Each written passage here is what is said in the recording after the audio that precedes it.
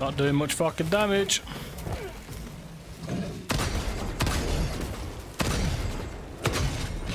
Just bouncing off him.